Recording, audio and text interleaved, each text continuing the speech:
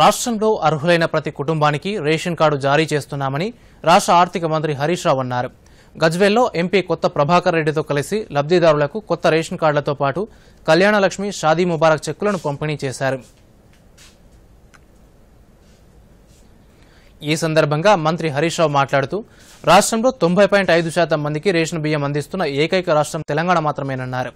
ఇప్పటి వరకు ఎనభై ఏడు లక్షల నలభై ఒక్క వేల మందికి రేషన్ కార్డులు అందించామని కొత్తగా మరో మూడు లక్షల తొమ్మిది వేల ఎనభై మూడు కార్డులు పంపిణీ చేస్తున్నామని హరీష్ రావు తెలిపారు. ఇప్పటికే ఎనభై ఏడు లక్షల నలభై ఒక్క వేల రేషన్ కార్డులు ఉన్నాయి.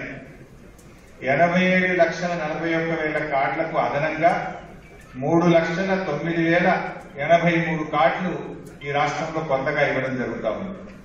అంటే పాతయి కొత్తవి కలిపితే తొంభై లక్షల యాభై వేల కార్డులు రెండు కోట్ల ఎనభై ఎనిమిది లక్షల యూనిట్లకు ఇవాళ బియ్యం ఇచ్చే కార్యక్రమం చేపడతా ఉన్నాం. అంటే మన రాష్ట్ర జనాభాలో తొంభై పాయింట్ ఐదు శాతం ఇక బియ్యం తీసుకున్న వాళ్ళు కారెట్ లేని వాళ్ళు ఎంతమంది ఉన్నారు? తొమ్మిదిన్నర శాతం.